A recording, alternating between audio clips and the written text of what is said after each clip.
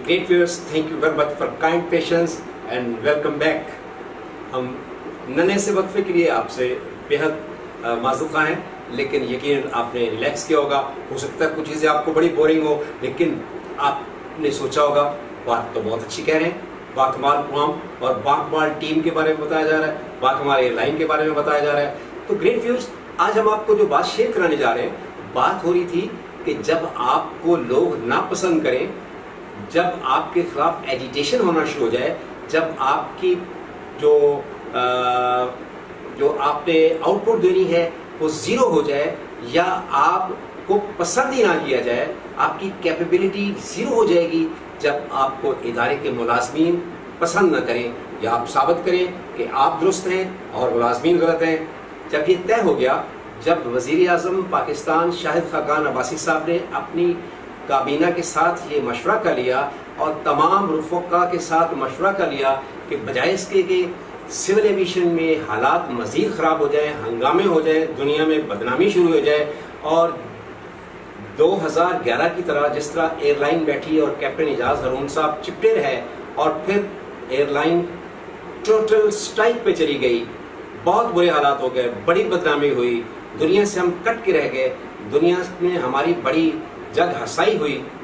اس ان حالات کو اوائڈ کرنے کے لیے شاید فقان عباسی صاحب نے وزیر اعظم پاکستان نے فیصلہ کیا کہ یا تو ادارے کو تباہ کر دیا جائے یا ایئر مارشل صاحب کو خدا حافظ کہہ دیا جائے۔ نتیجہ آپ کے سامنے تھا۔ Director general civil aviation authority air marshal retired Asim Suleman صاحب کو رخصت کر دیا گیا۔ اور جو رخصتی کے الفاظ لکھے گئے، میرے پاس وہ بھی آئے ہوئے ہیں، موجود ہیں، ہم ان کو ڈسکس نہیں کرتے۔ پھر کیا فائدہ؟ جب آپ کو جہاں آپ نے کام کرنا ہے، وہاں آپ نے وہ ماحول ہی نہیں دیا، وہاں آپ انفٹ ہو گئے انسوٹیبل ہو گئے، آپ ایئر فورس میں بہت قابل ترین فلائر تھے پائلٹ تھے ایئر مارشل تھے، بہت بڑا عہدہ تھا ایئر فورس انٹیلیجنس میں تھے، لیکن ہم نے ان کو مشورہ دیا تھا۔ ہم نے گزارش کی تھی کہ مارشل صاحب، فوج کا اپنا ڈسپلن ہے۔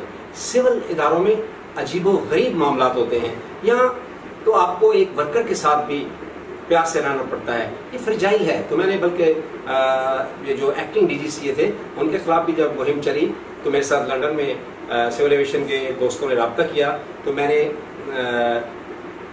ایکٹنگ ڈی جی سی حسین صاحب سے گزارش کی کہ آپ یہ فرجائی ہیں، ان کو handle with care and he was very nice gentle انہوں نے اس بات کو ایگری کیا۔ ہم بھی پھر چوڑے ہو جاتے ہیں نا کہ ہم نے سوچا کہ مارشل آسم سلیمان صاحب کو چونکہ ہم نے رخصت کر لیا ہے، تو ہم کام ہی چھاڑ دو بات کہنا ماننا چھوڑ دیں انسپارٹیشن پہ آ جائیں۔ میں اس کے خلاف ہوں کہ نہیں، جب ایک بات ختم ہو گئی تو باس از آلویز باس اور باس کو بھی بیہیو کرنا چاہیے۔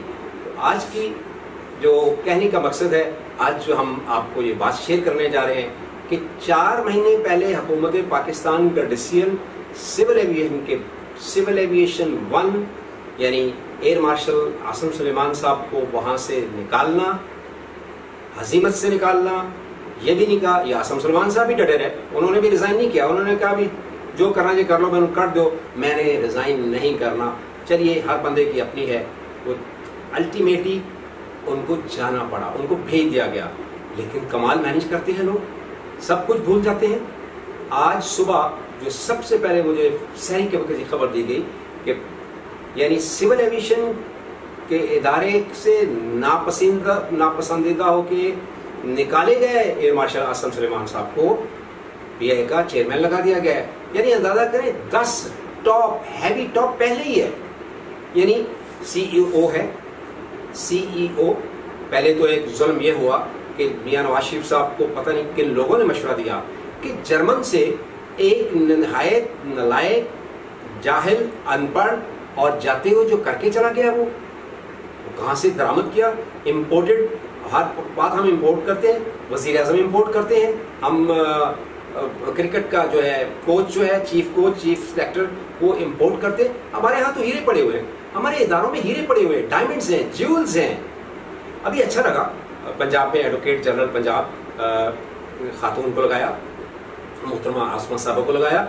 ہم کیڑے نکالنے کے تو بادشاہ ہیں، عدالت میں چلے جائیں گے الیکشن کمیشن کو چلے گئے ہیں۔ لیکن کوئی کام ہم نہیں کرنے دیتے۔ لہٰذا اس کو ہلڈن کو کہیں سے ہلا جلا کے لے آئے۔ اس نے سال، دو سال موج مستی کی اور وہ پریمیم کلاس کیا پریمیئر کلاس کیا کیا چلائی اس پہ کروڑوں روپیہ برباد کر کے، اپنی عیاشی کر کے، اپنی پسندیدہ خواتین کو پرموٹ کر کے کسی کو اسٹیشن مینیجر لگا گئے، کسی کو پرموٹ کر کے نلائک کو فراڈیے کو، چور کو، جو ریڈ ہینڈڈ پکڑے گئے، ان کو چھ، سات، آٹھ، نو دے کے اسٹیشن مینیجر بنایا کنٹری مینیجر بنایا دباؤ برباد کر دیا، کسی کو ڈائریکٹر لگا دیا، اور جو کام کے بندے تھے پروفیشنل تھے، ان کو کنڈے لائن لگا دیا۔ ہم تجربات کرتے کرتے اس ایئر لائن کو یہاں تک لے کے آ گئے۔ تو جناب، اب آسم سلیمان صاحب کو سول ایویشن سے سول ایویشن اتھارٹی سے نکالا۔ اور اب جب کل غروب آفتاب کے بعد پھر چراغوں میں روشنی نہیں رہ جائے گی، اور پھر ہوگا، ہم دیکھیں گے، ہم دیکھیں گے۔ اور ہم دیکھیں گے۔ کل یہ رخصت ہو رہے ہیں۔ جاتے ہوئے ایسے ایسے ڈسیزن کر کے جا رہے ہیں۔ یعنی مجھے بتایا گیا کہ پی اے کا چیئرمین لگنے کے لیے آسم سلیمان صاحب نے ایڈی چوٹی کا زور لگا دیا اور سول ایویشن والوں کو کہا کہ لو پترو، تسی میں اتو کڑایا سی، پھر یاد کرو گے۔ اور مجھے یہ بتایا گیا سول ایویشن کی ٹاپ لیول نے کہ پی آئی اے کو اس قدر نفرت سے ایئر مارشل صاحب دیکھتے تھے کہ ان کا میکسیمم لاس کیا، ان کو سٹینڈ نہ دلوانے، ان کے جائز کام نہ کرنے۔ اور چاہے وہ جیسا بھی تھا، برا تھا، جرمن کہتے تھے کہ جرمن شیفٹ کو بلاؤ۔ چلے ہو گیا۔ اب ان کو، اب جاتے جاتے اس حکومت نے ان کو لگا دیا ہے۔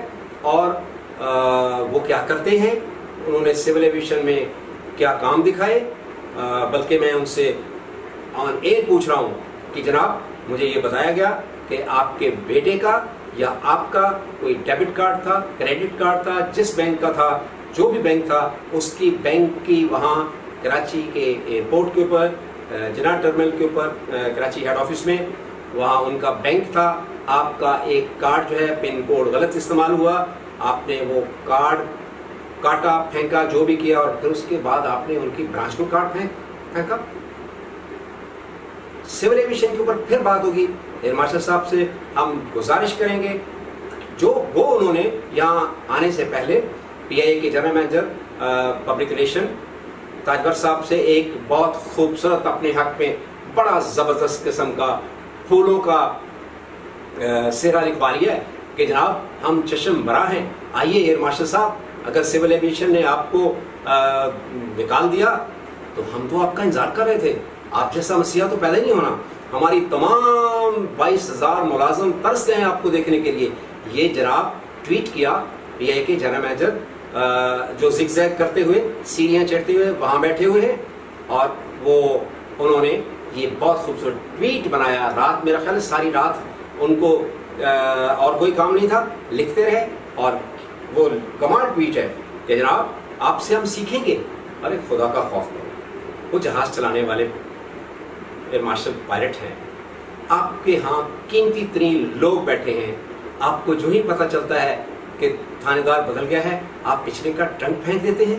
آپ نے ایسا زبردست قسم کا ان کے، ان کا، ان کے لیے القابات لکھے ہیں، ان کے لیے خطابات لکھے ہیں۔ ان کو ایڈریس کیا ہے کہ ہم اکیس ہزار بائیس ہزار ملازمین، ہمارے سی او، ہمارے ڈائریکٹرز، ہمارے جنرل مینیجر ہم تو آپ کو دیکھنے کے لیے ترس گئے ہیں۔ چلیے، دیکھتے ہیں۔ کیا حال کرتے ہیں؟ کیونکہ ہلڈن کے ساتھ بھی جاتے ہوئے جو آپ لوگوں نے کیا، مجھے اچھی طرح پتا ہے اور میں جانتا ہوں آپ کو۔ لہٰذا اب کیا صورتحال ہوتی ہے؟ اول تو چانسز بڑے ہیں کہ چیف جسٹس صاحب واپس آتے ہی انشاءاللہ کوئی نہ کوئی سوئے موٹو کریں گے کہ جس شخص کو آپ نے، جس شخص کو آپ نے ناپسندیدہ قرار دے کے سول ایویشن سے نکال دیا راتوں رات کون سا ستارہ لگ گیا کہ آپ نے پی آئی اے کا سربراہ بنا دیا؟ تو گریٹ ویورز، ہم اس پہ ایک پروگرام آپ کے ساتھ اور شیئر کریں گے۔ ہماری کوشش ہے، ہم یہ پروگرام جب تمام لنکس پہ آن ایئر ہو جائے گا، تو ہم پھر دعوت دیں گے کہ وہی general manager public relations mister Tajwar, جنہوں نے سہرا گایا ہے ماسٹر صاحب کا، ہم انہیں اوپنلی کہہ رہے ہیں کہ ہمارے پروگرام باکمال لوگ میں ایئر مارشل صاحب کو کہیے، ہمارے سوالوں کے جواب دیں۔ ہم ان سے کہیں گے کہ جناب سول ایویشن میں چلیے، آپ کو ذاتی پسند، ناپسند دیدی کی بنیاد پر آپ کو وہاں سے آنا پڑا۔ تو کیا پلاننگ کریں گے آپ؟ کیا آپ بھی پی آئی اے کے میں اپنے دوستوں کو بھر دیں گے؟ اپنے ایک یاروں کو ٹولا لے آئیں گے، یا پھر آپ اس کو سنواریں گے؟ اگر آپ سنواریں گے تو ہم آپ کے ساتھ کھڑے ہوں گے۔ آپ اس کو بنائیں گے، آپ اس پہ کالی بھیڑے نکالیں گے، ہم آپ کو پن پوائنٹ کریں گے۔ ہم ہم سے زیادہ اس کو کوئی نہیں جانتا۔ مشرف، ڈاکٹر مشرف رسول محنت کر رہے ہیں، لگے رہتے ہیں، لیکن کام نہیں کرنے دیتے۔ آپ کو بہت سٹرگل کرنی ہوگی۔ یا گاڑی گلوچ سے کام نہیں چلے گا۔ یو شٹ اپ بلڈی نہیں چلے گا۔ یا محبت سے کام چلتا ہے۔ یہ بڑے محنتی لوگ ہیں۔ یہ ایک کرو محنتی ہے گراؤنڈ اسٹاف محنتی ہے انجینئرنگ ٹاپ ٹاپ لیول کی انجینئرنگ ہے۔ آئیے، اگر آپ بسم اللہ سربراہان نے آپ کو لگا دیا ہے اور آپ کو بڑا شوق تھا اور آپ نے کہا تھا سول ایویشن سے کہ چلیے، آئیے پھر وہاں سے نکالا ہے تو ہم واپس پی اے کے چیئرمین کی حیثیت سے آؤں گا۔ آئیے آ گئے اور اس کو ٹھیک کیجیے۔ آپ کو اس کے بارے میں ہم پن پوائنٹ کریں گے کہ کون کون سی کالی بھیڑے ہیں، کون کون سے بندے ہیں جنہوں نے اس کو لوٹا ہے، جو لوٹ رہے ہیں، کون کون سی لاکھوں روپے کی میزرمنٹ کی انکوائریاں ہیں، جو فائلیں دبی ہوئی ہیں انکوائریاں نہیں ہونے دے رہے۔ لاہور میں ٹھیکیدار کھا گیا ہے کانٹریکٹر کھا گیا ہے، وقت والے نے تباہی مچا دی ہے۔ دو مینیجر سسپینڈ ہیں، لیکن ٹھیکیدار کو ٹھیکیدار دیے جا رہے ہیں۔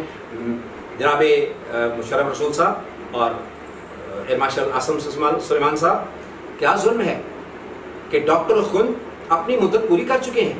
وہ پی اے کے چیف میڈیکل آفیسر پوری مدت کر چکے ہیں۔ یعنی کمال ہے، ایئر لائن آخری سانسوں پہ ہے اللہ نہ کرے۔ اور ان کو ایک سال کی ڈاکٹر خن جس نے کوئی ٹکے کا کام نہیں کیا،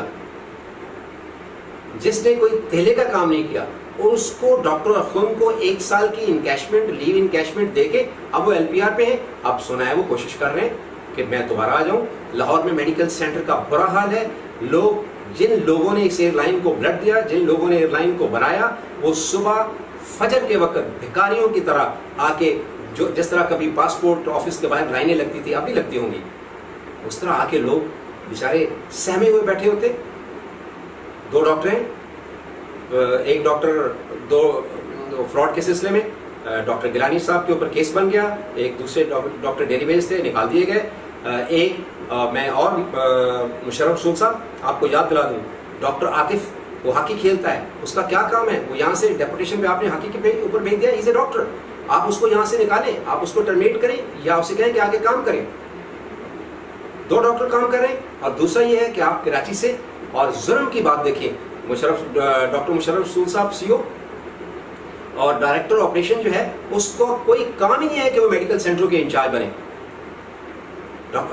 کیپٹن عمیر عزیر خان کا کیا کام ہے کہ اس کے اندر اس کے انڈر آپ میڈیکل سینٹر کر دیں؟ اس کا کیا تعلق ہے؟ ڈی اے کے اندر ہوتے تھے ڈائریکٹر ایڈمنسٹریشن لوگ آفر کرتے تھے۔ ایک ایک تھانے داری رکھی ہوئی ہے، ٹکے کا پتہ نہیں ہے۔ اپنے جہاز اڑائیے، آپ فلائٹ آپریشن کے ڈائریکٹر بنیں گے آپ کو پتا ہے کہ لاہور میں کیا ہو رہا ہے؟ لاہور میں میڈیکل سینٹر کا برا حال ہے۔ لوگ چار چار گھنٹے آ کے باہر لائن میں بیٹھتے ہیں۔ اور ڈاکٹروں نے دو دو گھنٹے اپنے روسٹر بنایا ہوا تھا۔ اب آ کے تھوڑا سا کام بہتر ہوا ہے۔ اور او سی ایس پہ پچھلے دفعہ پندرہ دن کے لیے پی سی میں آ کے ڈاکٹر ٹھہرے۔ تیرہ ہزار روپے پر ڈے ظلم نہیں ہے۔ ایئر لائن ڈوب رہی ہے۔ کیا ہو رہا ہے؟ کیا کر رہے ہیں؟ سی او صاحب کچھ خوف خدا کریں۔ چودہ، پندرہ ہزار روپے پہ وہاں آپ کراچی سے سرکاری ڈیوٹی پہ بھیج رہے ہیں۔ یہاں وہ پی سی میں ٹھہرے ہوئے ہیں۔ پچھلے تیرہ ہزار، چودہ ہزار پر ڈے تھا یہ بھی سات آٹھ ہزار پہ ہیں۔ پندرہ دن رہیں گے یاشی کریں گے آم شام کہیں گے، چلے جائیں گے۔ بھائی، چھ ڈیلی ویجز ڈاکٹر رکھیے، یہ دو، تین جو کام نہیں کرتے، انہیں کہیے، اللہ کے سپرد ہو جائیے، کہیں باہر ٹرانسفر کر دیجیے، تاکہ ان کو پتہ چلے کہ گھر اور باہر میں کیا فرق ہے۔ ناظرین انشاءاللہ اس کے اوپر اور پلان کریں گے۔ ہم پاکستان انٹرنیشنل ایئر لائنز کو دوبارہ great people to fly with کے سلوگن سے اور آگے بڑھانے میں ہم آپ کے شانہ بشانہ رہیں گے۔ ڈاکٹر مشرف رسول صاحب ہوں ایئر مارشل آسم سلیمان صاحب ہوں۔ خدا را، ماضی سے سبق سیکھ جائیے ہسٹری پڑی ہوئی ہے۔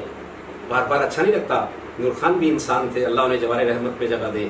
عارف عباسی موجود ہیں۔ ان سے سبق سیکھیے احمد سعید صاحب ٹرپل سیون نہ لیتے تو ہمارے پاس ککھ بھی نہیں تھا۔ اب ہم ادھار پکڑ کے جہاز چلا رہے ہیں۔ ہمارے پچیس اسٹیشن بند پڑے ہیں۔ ان کو چلائیے۔ آپ روز تجربہ کرتے ہیں۔ آپ تصویریں کھنچا رہے ہیں۔ آپ کو جو مداسرا ہیں، وہ ساتھ کھڑے ہوتے ہیں۔ یعنی ہلٹن بیچز کے ساتھ تصویریں کھنچوا رہا ہے۔ اور عامر بیمن صاحب ساتھ کھڑے ہوئے ہیں کہ جناب سی او یا جو بھی تھے وہ وہ جناب ویل چیئروں کا دورہ کر رہے ہیں۔ عامر معافی چاہتا ہوں۔ ویل چیئروں کا کیا تعلق ہے؟ مریضوں کے ساتھ پروام کیجیے کہ آج جہاز لے کے آ رہے ہیں۔ آج ہمارے ٹریننگ سینٹر میں دنیا کے کپتان آئے ہیں سیکھنے کے لیے۔ ایئر لائنیں آئی ہیں ہمارے پاس، ہمارے اسفانی ہینگر میں لوگوں نے جہاز بھیجے ہیں۔ اس میں تو جائیے۔ کمال ہو گئی۔ ناظرین ان شاء اللہ عزیز، ہم آپ کو اور بہت کچھ بتائیں گے، بہت سے رازوں سے پردہ اٹھائیں گے، کیونکہ ہم تاریخ کا حصہ ہیں۔ اور آپ کو بتائیں گے کہ یہ کس طرح سیدھی ہو سکتی ہے ایئر لائن انشاءاللہ عزیز، یہ دوڑے گی، یہ بھاگے گی، یہ پھر دنیا میں راج کرے گی۔ اگلے پروگرام تک اپنے میزبان یقوب جاوید کمیانہ کو دیجیے اور خوبصورت رازوں سے پردہ اٹھائیں گے۔ دیکھتے رہیے پروگرام باکمال لوگ، پاکستان زندہ باد۔